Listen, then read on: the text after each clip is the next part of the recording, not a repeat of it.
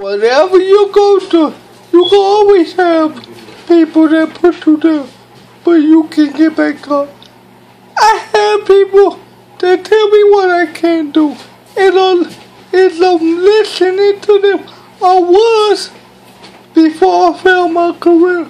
My career is to give you hope, and I want to tell you that your life is not over just because you just because you fail a test, just because you don't feel like getting up in the morning for the job.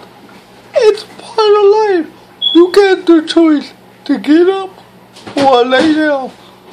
Cause or or let, let me put it this way. If you lay down, does that mean you gonna get money?